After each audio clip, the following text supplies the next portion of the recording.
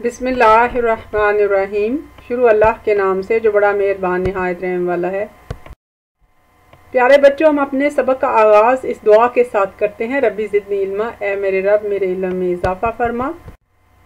आज हम उर्दू कहानी, अम्मी डॉक्टर क्यों बनी, के मशक़ी सवाल कर रहे हैं, और आज हम उसमें हरफ जार के बारे में बात करेंगे। ये हमारे पास हरफ जार हैं, पर तक बाहर दरमियान और में।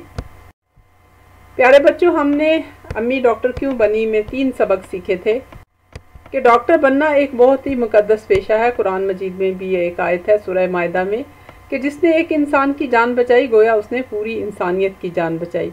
लेकिन ये पेशा जो है, ये बहुत ज़्यादा मेहनत माँगता है। इसमें आपको कुर्बानी देनी पड़ती है और ये काफ़ी मुश्किल किताबें पढ़नी पड़ती हैं। एफएससी के बाद पाँच साल मेडिकल कॉलेज में पढ़ना पड़ता है, फिर हाउस जॉब करते हैं और फिर आपको सर्टिफिकेट मिलता है कि आपने लोगों का इलाज करना है। क्योंकि इंसान की जान बहुत ज़्यादा कीमती है तो प्यारे बच्चों, कभी भी गैर मुस्तन डॉक्टर से ना इलाज करवाएँ। और अगर आप डॉक्टर बनना चाहते हैं तो आज से बहुत ज़्यादा मेहनत का आदि करें अपने आप को। फिर दूसरा सबक हमने सीखा था कि शिकवत शिकवा जुल्मत शब से तो कहीं बेहतर था।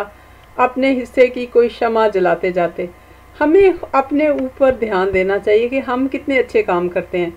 बजाय माशरे की बर्बादी के नोहे पड़ने से बेहतर है कि अपने हिस्से का खैर का काम करें, अपनी ज़िम्मेदारी पूरी करें। कोई सच बोले ना बोले, मैंने तो सच बोलना है। कोई सफ़ाई करे ना करे, मैंने तो सफ़ाई रखनी है। मैंने गंद नहीं फैलाना। मैंने हमेशा जो कचरा है वो कूड़ादान में डालना है तो प्यारे बच्चों, हमें चाहिए क्योंकि अल्लाह ने सिर्फ़ हमारे से हमारे मतलब ही पूछना है तो आज से ऐद करें कि आपने अपने हिस्से का काम करना है, कोई करे ना करे आपने अच्छा काम ज़रूर करना है। और फिर अभी आप स्टूडेंट हैं, आपका काम पढ़ना है, अपनी पढ़ाई पे पूरी तवज्जो दें, रोज़ का काम रोज़ करें और दिल लगाकर अपना सबक याद करें। हरफ जार की तारीफ़। हरफ जार वो हरूफ होते हैं जो किसी इसम को फ़ेल के साथ मिलाते हैं। उर्दू ग्रामर में हरफ जार वो हरूफ होते हैं जो किसी इसम को फ़ेल के साथ मिलाते हैं। मसलन पेंसिल मेज़ पर रख दो। अब देखें कि पेंसिल इसमें मेज़ भी इसमें और पर जो है आ, ये मिला रहा है रखना जो है वो फेल है। तो इस जुमले में पर हरफे जार है। उर्दू के मशहूर हरफे जार मंदरजा झैल हैं। आमतौर पे ये हरूफ जार बार बार इस्तेमाल होते हैं। का, के, की, को, तक, पर, से, तलक, ऊपर, नीचे, पे, दरमियान, साथ अंदर, बाहर वगैरह। खाली जगहों को मुनासिब हरफ जार से पुर करें। अब हम, मैं आपके सामने कुछ जुमले रखती हूँ, जिनमें खाली जगह है और आपने उसमें मुनासिब हरफ जार से पुर करना है।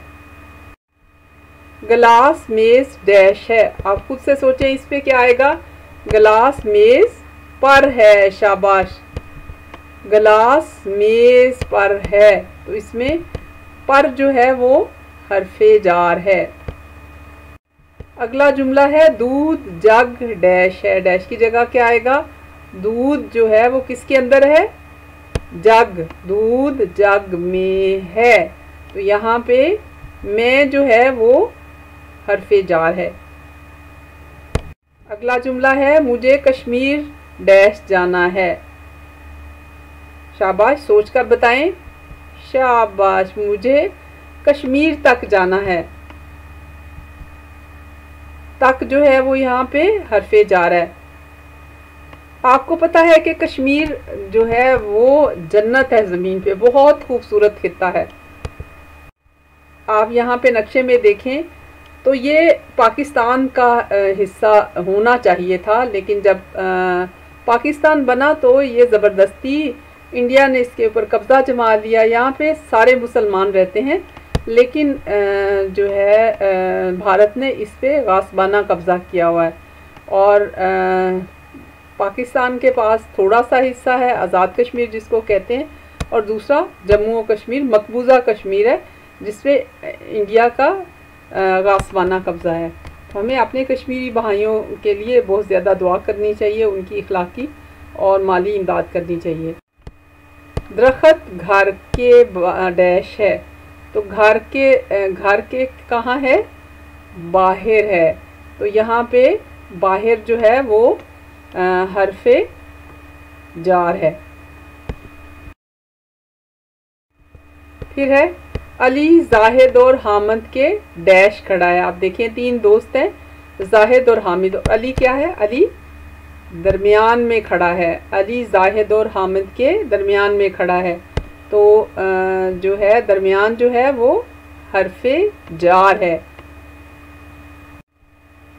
तो हमने अभी जो जुमले मुकम्मल किए, वो थे, गलास मेज़ पर है, दूध जग में है, मुझे कश्मीर तक जाना है, दरख्त घर के बाहर है, और अली जाहिद और हामिद के दरमियान खड़ा है।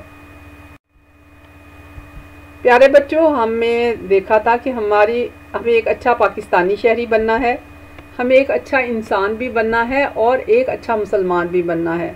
ये चीज़ें हमारे अंदर का पैदा हो सकती हैं कि हम अपनी ज़िम्मेदारी का सबूत दें हम आ, सच बोलें और हम लोगों से अच्छा सलूक करें।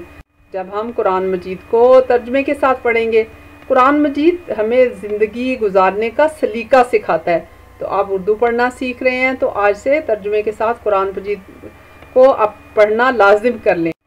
उम्मीद है आपको सबक पसंद आया होगा। इस चैनल को सब्सक्राइब करें, इस वीडियो को लाइक और शेयर करें।